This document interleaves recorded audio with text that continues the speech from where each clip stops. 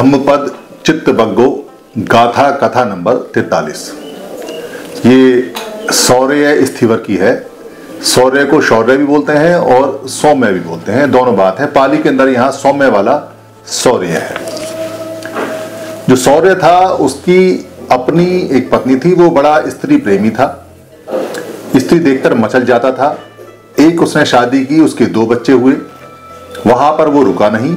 उसको दूसरी स्त्री से प्यार हुआ, प्रेम हुआ, उसने फिर शादी की, दो बच्चे उससे हुए। दूसरी स्त्री से शादी करने के बाद, दो बच्चे होने के बाद उसके मन में राग खत्म होने लगा तो वो महाकच्चान की शरण में गया और महाकच्चान ने उसको पवज्जा दी। महाकच्चान ने उसको धम साधना सिखाई और धम साधना सिखाते समय वहाँ भिक्खु अक्सर पूछा करते थे सौर्य तुझे कौन से बच्चे ज़्यादा अच्छे हैं? पहली पत्नी के या दूसरी पत्नी के? सौर्य स्थिवर बाद में अरथ हो गए।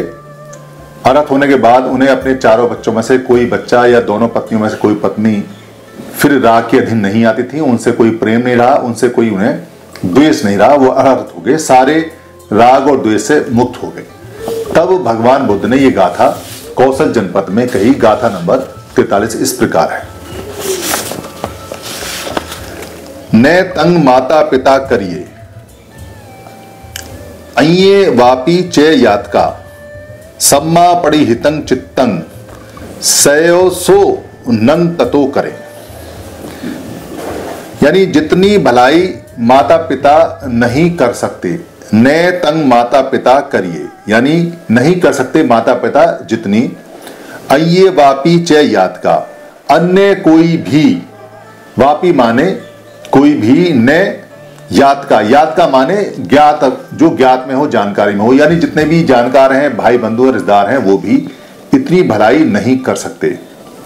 सम्मा पड़ी हितंग चित्तंग सम्मा सम्मा पड़ी हितंग चितंग का मतलब है कि सम्यक रूप से, सही रूप से, सही दिशा में संकल्प किया हुआ मन चित्तंग सयोसो न तत्व करे। उससे बढ़कर कोई भी तब श्रेष्ठ नहीं हो सकता। इसका मतलब है यह है कि माता पिता भी आपने बच्चे की इतनी भलाई नहीं करते और ना ही कोई रिश्तेदार, कोई बंधु इतनी भलाई करता है। जितनी भलाई आपका मन जो अच्छे काम में लगा हुआ हो, वो करता है। ये इस गाथा का सार है। इसका मतलब ये हुआ कि माता पिता अपनी ज़िम्मेदारी निभाते हैं और भाई बंधु जितने भी हैं, वो सब अपनी ज़िम्मेदारी निभाते हैं। सही करके रखते हैं। मगर अगर आपका मन दूषित है, आपका मन संकल्प से भरा हुआ है, पाप से भरा हुआ है तो फिर आप अपने दुश्मन खुद ही हैं, आपका कोई फ़ायदा नहीं कर सकता। और अगर आपका मन सही दिशा में लगा हुआ है, आप सही काम करते हैं, पंचशील का पालन करते हैं, किसी को हानि नहीं पहुंचाते हैं, शराब नहीं पीते हैं, जुआ नहीं खेलते हैं, चोरी नहीं करते हैं व्यवचार नहीं करते हैं, हत्या नहीं करते हैं, झूठ नहीं बोलते हैं तो माता पिता जितनी भलाई आपकी कर सकते हैं, या कोई भाई बंधु जितनी भलाई कर सकते हैं, उससे हज़ारों गुना ज़्यादा भलाई आपका ये मन आपके लिए करेगा, आपका चित्त आपके लिए करेगा। ये चित्त की गाथा नंबर तैतालीस है। बहुत सरल भाषा में बताई हुई गाथा है, बहुत अच्छी गाथा है। अपने मन को शुद्ध रखेंगे तो आपकी भलाई सबसे ज़्यादा आपका मन ही करेगा, आपके लिए। ये गाथा के जी के इस प्रकार भी बताई हुई है। कि महाकच्चायन अपना चीवर बदल रहे थे। उस समय जो सौर्य है, उसने उनको चीवर बदलते देखा। उसकी इच्छा उनके शरीर के ऊपर पूरी तरह से आसक्त हो गई। आसक्त होने के बाद उनके मन में द्वेष आ गया। उनके मन में पाप आ गया। पाप और द्वेष आने के बाद में बड़ी ग्लानी महसूस हुई।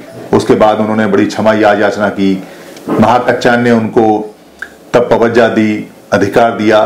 कहानी कई बार बदल जाती हैं, इसलिए कहानी जितनी भी है, आप सार में जाइए, जो कथा है, वो बदलती रहती हैं, जो गाथा है, वो बिल्कुल ठीक है, उनके अर्थ बिल्कुल ठीक होते हैं। गाथाओं में कहानियाँ नहीं होती हैं, गाथा में बिल्कुल सार होता है सूत्र में सार होता है। धन्यवाद।